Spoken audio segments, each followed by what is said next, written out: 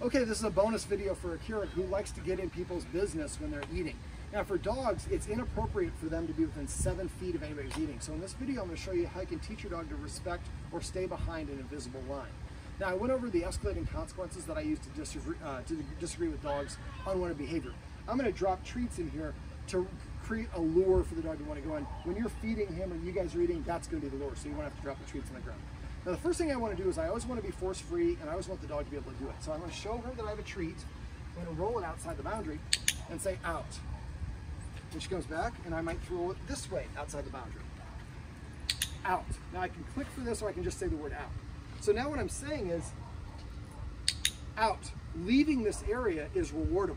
Normally all the good stuff is in here. So why would I want to leave? I don't get any benefit from leaving. So we just throw the treats, and I usually do this for every doorway or portal in the house. One of the rules is she shouldn't be allowed in the kitchen when we're preparing food. You do the same exact exercise. So I usually go to every room in the house. Let's say this is the kitchen, and this hose represents the edge of the kitchen. So I throw the treats out, out, and then say the command word. I do two outs, and if this is a big open floor plan, I might go out here, out here, out here, out here, or if it's around the table, around every direction. So I'm saying vacate the kitchen. Then I would go to the bedroom. Now this is the bedroom, this is the doorway. I throw the treat out, she goes out, and I say out again. I do two outs for every doorway or portal in your house. Then what I do is I go outside, let's say this is the kitchen now, kitchen. So now I've created a command word to vacate any room as well as to go to every room. So I'd recommend you do, uh, have, have like three treats for every area that you're gonna do and then multiply it. And then basically walk around your house and do this. And each one of you guys does this once or twice a day. After a couple days, you can say out, then she exits, then you give her the treat after she exits. We throw it at first to create a motivation, but after a while she'll do it on her own. Okay, so I always want to be able to tell the dog to leave first. So the second thing I'm going to do is use the escalating consequence I went over off camera. So uh, I'm going to kind of escort her out. My authority's pointed at her. So whatever direction my hips and shoulders are going is where my authority goes, so it's going to need to be pointed at her. I take a step backwards, I take a step backwards and I pause. If she comes forward, I say no by marching at her and hissing at the same time. If she stays paused, I can take another step backwards. Now we can make it a little bit more challenging.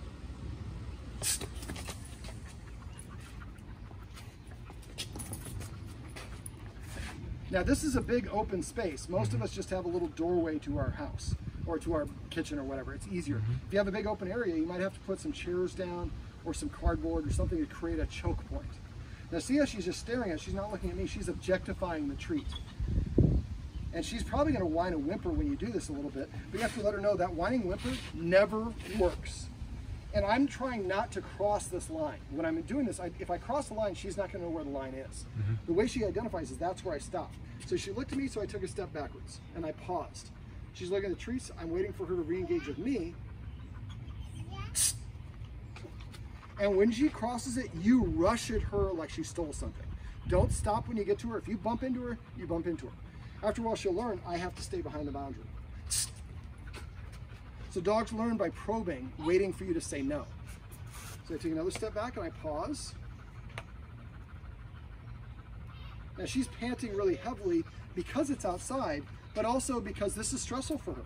Sits, I take a giant step backwards. Now, technically, she's breaking the law because she's across the line, but she is respecting the spirit of the law, so I'm going to allow that.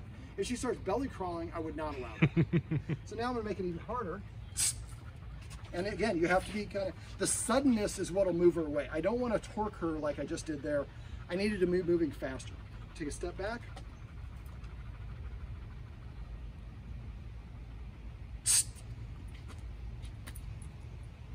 So it's the suddenness of the movement, which I don't really can't achieve because of where we're at, but you want to be moving very suddenly, rapidly. She's stationary, take a step back and I pause. Wait for her to look at me, make sure she's not moving. Take another step backwards and pause. Now, before we started this, I'm guessing if I would have said, can I drop like 25 treats on the ground and have her stay away from it, you probably would have said no. So what we're doing is we're creating a scenario where she can practice the behavior that we want. So when you're feeding him, I would use this and have him eat in different areas. So I, she crossed it. I was going to go there, but I figured she was going to do that. So when she does that, if this is the dinner table, now I can sit down and start eating my food, but I'm keeping my hips kind of pointing this direction. And at any point that she gets up, I have to be willing to stop what I'm doing and race towards her. At first, you're gonna have to interrupt her quite a bit. After a while, she's gonna know he will never, ever give up. He's always gonna not let me have the treats, so it's not even worth challenging. So then what she does is she kind of just starts hanging outside the boundary. One of the little tips is to practice to create a scenario. So if we're having him eat a snack and you're here watching and mom is handling him, your job is to bird dog the dog. And so the dog crosses the threshold, and you're stuck, and so she can be there shepherding him. Um, when you're actually going to eat a real meal, what I usually do is I microwave, or doing this in your kitchen, is I would microwave a piece of bacon in the kitchen.